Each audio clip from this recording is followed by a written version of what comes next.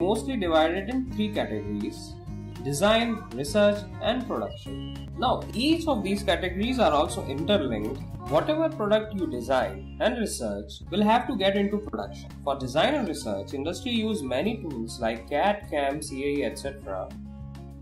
In which CAD is a design tool which creates 3D model and drawing which is normally used for manufacturing. Some of the famous CAD tools are AutoCAD, Pro CATIA, SolidWorks, etc.